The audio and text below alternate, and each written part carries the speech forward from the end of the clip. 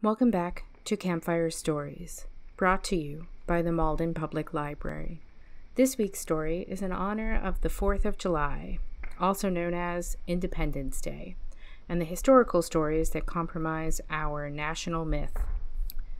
There are a lot of tales surrounding our nation's formation.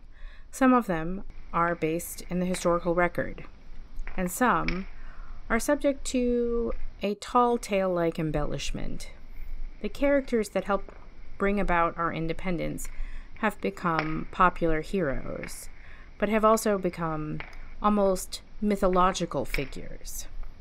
We all know the fact and fictions about people like George Washington, Alexander Hamilton, Paul Revere, John Hancock, and of course, John Adams. We tell a lot of true-ish stories about our nation, but that history is subject to a lot of mythologizing. Tonight's story imagines a time when those more fantastical stories get reconstructed as part of an archaeological record that lacks our current fondness for the USA. It is horrific and disturbing and a little bit weird and pretty disconcerting, which makes it perfect for the 4th of July campfire story.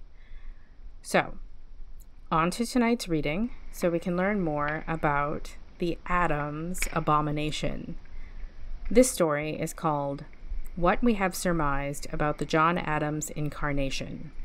It's by Lincoln Michel in his collection Upright Beasts. You can actually request this book to borrow from our library or other libraries in our network.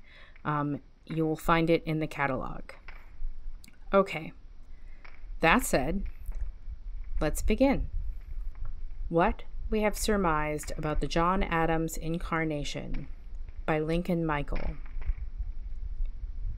Although much remains unclear about John Adams, alternately referred to in recovered documents as John Adam, John Adams with an E, and the Adams Abomination. Recent drone expeditions into the charred continent have unearthed new artifacts that lead us closer to understanding this mysterious entity. Long assumed to be a prince or demon of lesser cult, we now know that John Adams was an important figure in the dominant United Statesian mythology. He appears to have originally been conceived as a familiar or minion of George Washington, the first of the hundred tyrants that are said to have ruled the country until its infamous, self inflicted demise. It was only later that John Adams was celebrated as a deity in his own right. His physical manifestation is a source of debate. Certain scholars suggest he was worshipped as an enormous goat like god, or perhaps a sentient birch tree referred to as the Braintree by the cults of Puritan that populated the region now known as the twice damned seaboard. Often he is portrayed as a fat, sullen man whose lips seem curled in a perpetual frown. As the second of the early tyrants, likely monarchs, who were worshipped as divine, although possibly purely mythological figures, John Adams can be placed squarely in what may be called the constitutional pantheon of the United Statesian religion. His chief rivals in this group were Alexander the Uncrowned Hamilton and Thomas Jefferson, the latter of whom would usurp his throne. It is believed that Adams's symbols were the split acorn, the horned hare, and the first feather of the newborn eagle. The acolytes of Adams do not appear to have had as much influence as the followers of more prominent gods, such as Benjamin Franklin, Lincoln of the Logs, and the great trader Burr. A title that was perhaps ironic given his apparent influence among the southern lands. Of all the sacred coins and wood pulp currency sheets that have been unearthed from the burnt rubble, none have featured the visage of John Adams, a fact that is rather unusual among the early tyrants. Here, it must be noted that many scholars now believe these beings were not necessarily viewed as separate by the United Statesians, but rather different incarnations of the one founding father deity, also known as George Washington.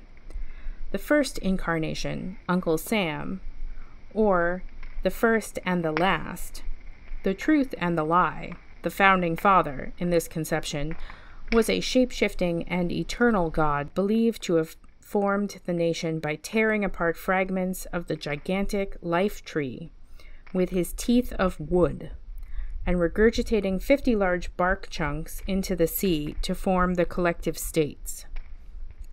In his fleeting incarnations as John Adams, the founding father was pale, bloated, and quick to anger. His commandments were enforced by a set of terrifying minions known only as the Midnight Judges. Scholars agree that this was a tumultuous time for early United Statesian society, as the wars with rival nat- nations, such as Imperial France and Britain, of the first decay, had taken their tolls on the populace. The newly formed United States was working to define itself and struggling with enemies both within and without. The monstrous John Adams incarnation likely provided a feeling of strength and destiny to the huddled and starving United Statesians.